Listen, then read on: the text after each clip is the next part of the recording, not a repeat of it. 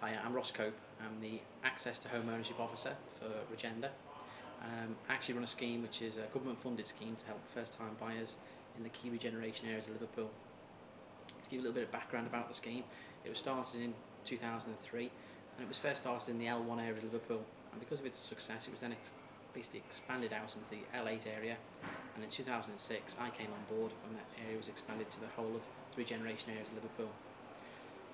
The idea of the scheme is to help first time buyers get their foot on the property ladder. Uh, back in 2003 research was done um, that found that there was a lot of barriers for people trying to get into home ownership and um, it was decided that it was very difficult to find information about solicitors and mortgages and this kind of thing and that's where we can come in and help people. We can help people make the right decisions whether it's right to buy a property or not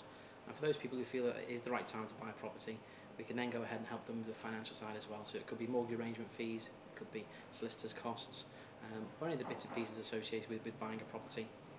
To give you an idea of the sort of areas that we help, if you can imagine a, a city, a map of the city centre of Liverpool um, and the areas around it, uh, we work our way from Kirkdale, working your way around through to uh, Walton, Everton, Anfield, and working your way right around to Tuebrook, um, right through Granby, all those areas there, Wavertree included,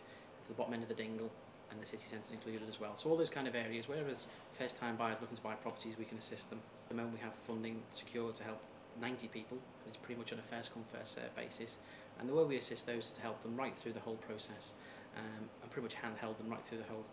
from start to finish, from where choosing a property right through to final completion and, and getting their keys. So far we've helped 160 people buy their own place, and we're looking to extend that and carry on right through up to 2008. And many people we speak to they come back and they say, without, without our help, we probably would never have bought their own property.